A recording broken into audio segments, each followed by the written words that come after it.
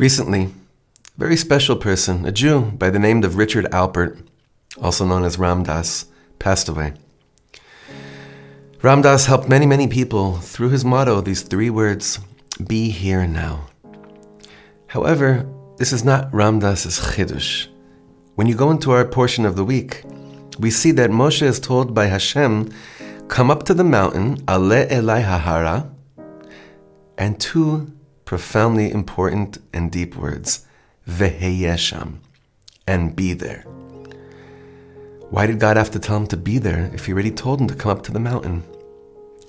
The Divrei Yisrael, the Moshe Rebbe explains that many people attend services. They go to shul, they go to temple, they go to synagogue, they'll go to classes. They'll show up at events that they know they should be going to. But are they there?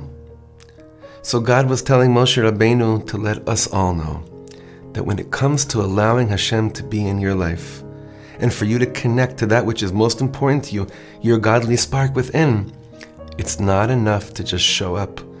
You also have to go deep inside and be present and just be there. And be there now.